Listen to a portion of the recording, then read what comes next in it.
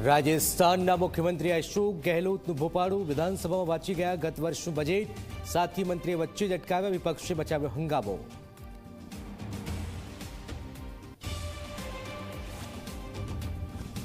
જામનગરમાં નોંધાયેલા વર્ષ બે હજાર સત્તરના કેસમાં ભાજપના ધારાસભ્ય હાર્દિક પટેલ નિર્દોષ જાહેર શૈક્ષણિક હેતુ માટેની મંજૂરી લીધા બાદ સભામાં થયું હતું રાજકીય ભાષણ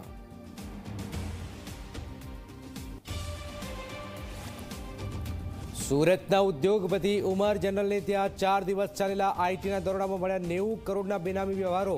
એક કરોડની રોકડ સીઝ જીએસટી વિના માલ વેચ્યો હોવાનું પણ બહાર આવ્યું